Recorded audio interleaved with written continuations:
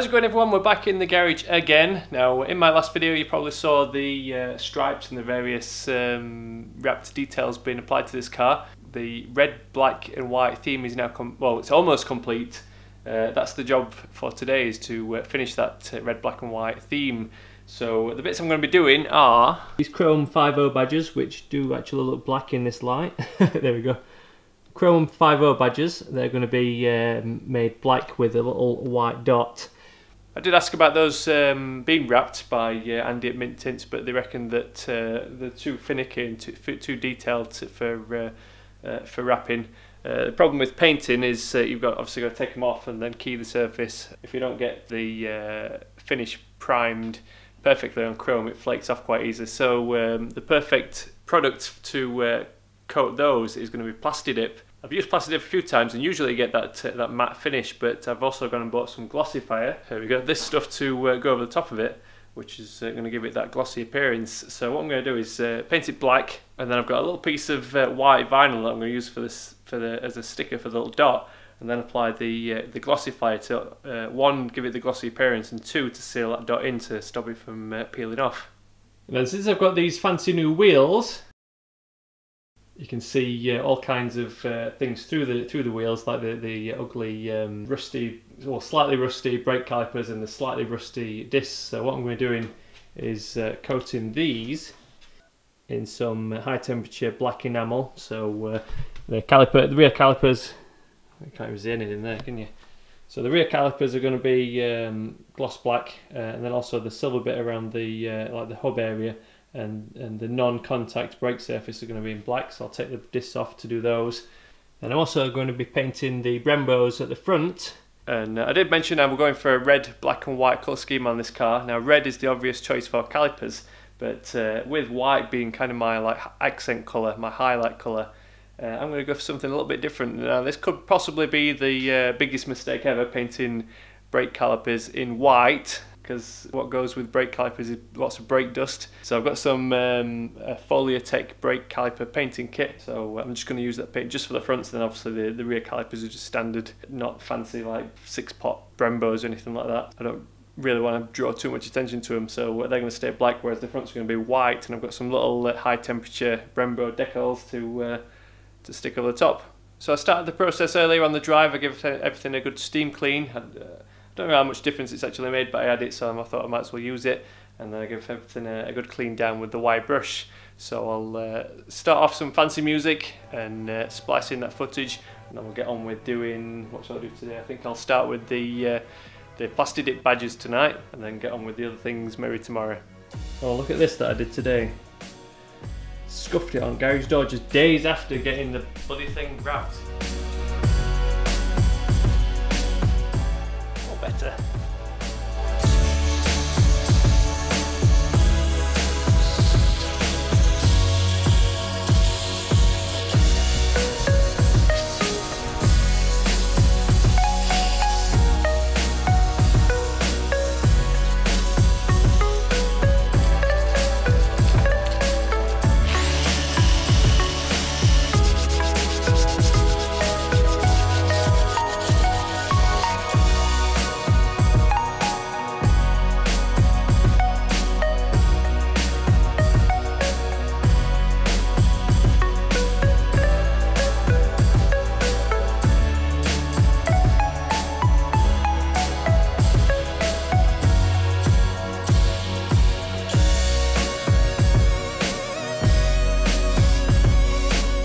Key when working with Plastidip, That's all it needs for first coat, a little light mist. And then it goes back on radiator.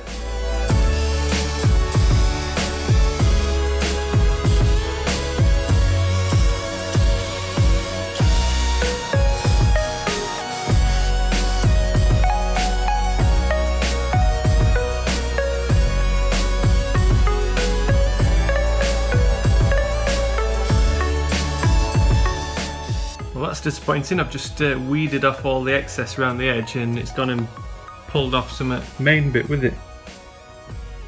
See there, that chrome bit showing through. But the actual um, design looks pretty good with that white dot.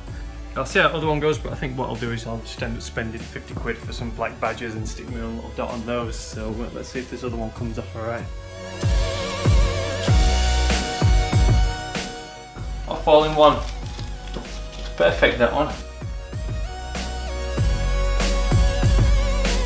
This one looks a bit messy in comparison. It's annoying. It'll work as a temporary solution. But at least I get to see what it looks like, matching in with the, the white stripe.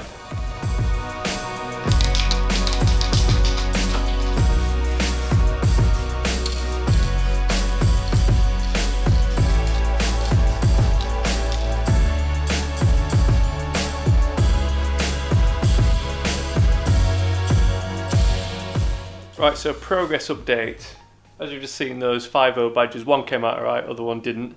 So I'm going to end up spending 50 quid and just putting myself a little white dot on the uh, painted ones anyway. Rear calipers are looking pretty good. You'll be able to see with it being so dark. You just have to take my word for it, look pretty good. I left the uh, brake pads in on those because back said brake pads were quite uh, dirty and rusty and uh, they were all going black anyway so uh, I just masked off the actual brake pad face and um, and like the little rubber bits and the little bleed nipple and just sprayed everything down there. The discs are still outside, they're drying, it's still a bit tacky so I'm going to leave them. Uh, obviously I masked up the uh, contact area on the disc just roughly because I think any excess uh, overspray will just um, get whipped off with the brake pads with you know the first time I hit the brakes anyway so they're looking quite pretty good with the uh, black um, edging uh, where the little vented bits it, bit, bit is and the the main like hub area looks a lot better in black than like a rusty silvery colour. As for the fronts, can't see anything down there either. Need some more lights in this garage or at least a better camera lens.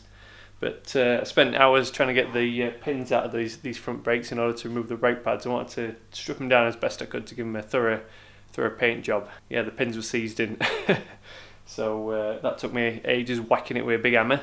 But they're out now, so hopefully it'll go back together easily enough. So uh, I just need to uh, re-clean those because I've sprayed them all with uh, plus gas, you know, penetrating oil. So uh, I'll have to re-clean them with wire brush and uh, brake um, brake cleaner, and then I'll be ready to start painting. Right, it's night time now. My daughter's in bed.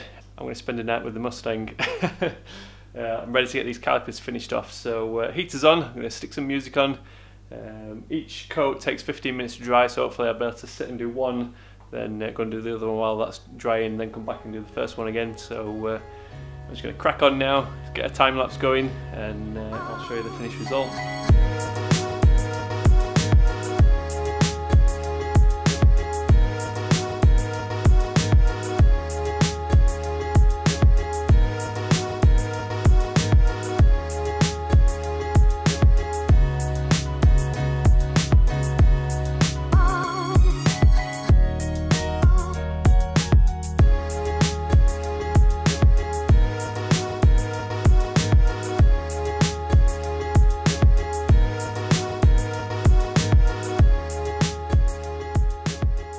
Right, I think I'm ready to call it a night. Trouble is with this uh, this stuff, you never know when to stop. You just keep, going at it, and it just ends up making it worse. But uh, it's leveling quite well. Uh, there's a couple of little runs where I've put too much on, but I'll show you what it's looking like so far. Probably the world's worst idea, painting brake calipers white. They're not going to stay that white for long, probably. But uh, I guess I can steam clean them every so often. I still don't know whether it needs another coat, but it's. You see, look at that run. No. Trouble is, it's, it's going off, so it's like the more I try and add to it, the more it's pulling and dragging along. So I don't know. Let's see how it dries, I guess. Yeah, I think best thing to do is just leave it and uh, see what it's looking like in the morning, and then try and get all that tape off. I've got a feeling those uh, bits of tape that are bunged into the little pinholes aren't going to come out once they're uh, dried in there. But I'll check in again in the morning, and uh, that's when I can uh, put my little Brembo stickers on as well, just to finish them off.